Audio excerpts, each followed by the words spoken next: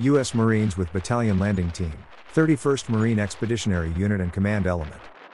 Conduct fire control training at W 174 Live Fire Range, Okinawa, Japan, December 21, 2023. The training provided an opportunity to work in a dynamic tactical situation and refine target plotting skills.